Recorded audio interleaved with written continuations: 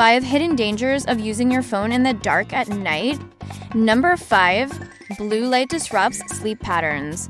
The blue light emitted by your phone screen can suppress melatonin production, making it harder to fall asleep and affecting your overall sleep quality. Number four, eye strain and damage. Staring at a bright screen in a dark room can cause significant eye strain, potentially leading to long term vision problems.